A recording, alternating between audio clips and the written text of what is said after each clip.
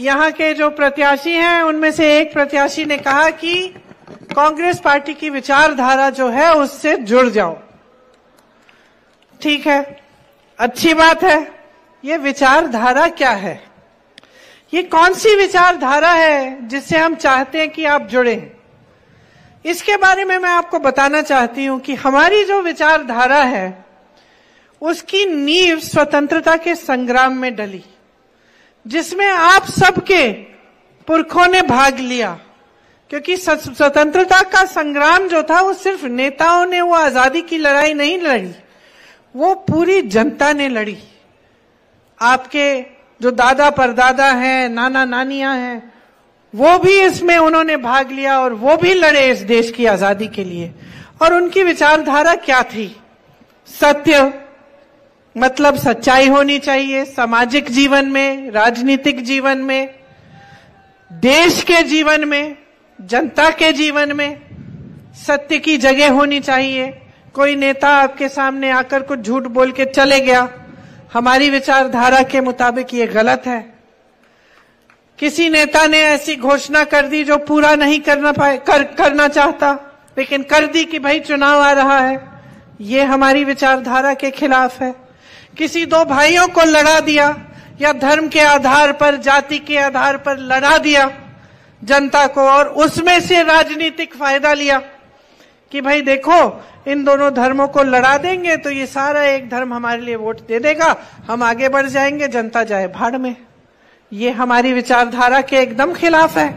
हम चाहते हैं कि सब एकजुट हो, कि सब एक साथ आगे बढ़े, कि लड़ाई, फूट, हम समझते हैं, देखिए कि लड़ाई, फूट फैलाने से नुकसान किसका होता है? आज तक आप बता दो मुझे।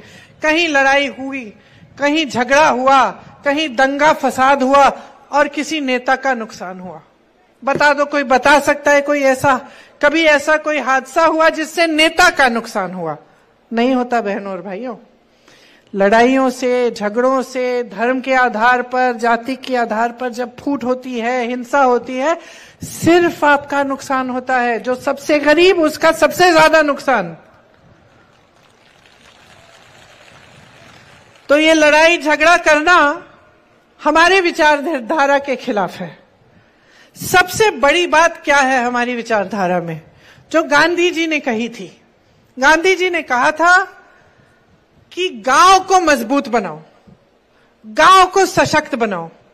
जनता का जो पैसा है जो जनता की संपत्ति है वो वापस जनता की जेब में डालो। सबसे बड़ा बड़ा जो हमारी विचारधारा की, की जो सबसे बड़ी चीज़ है वह यही है कि ये देश जनता का है। इस देश को जनता ने आज़ाद किया।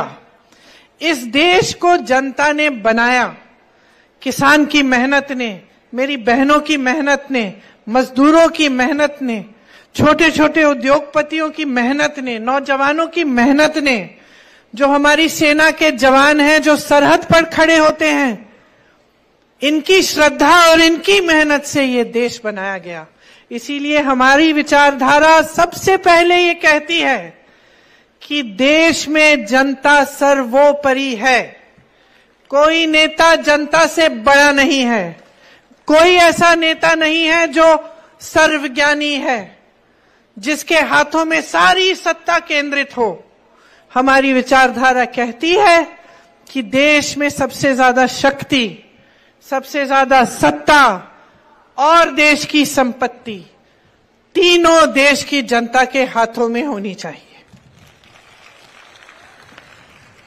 तो ये हमारे पार्टी की विचारधारा है। और जब आप कहते हैं इससे जुड़िए तो इसी की बात कर रहे हैं।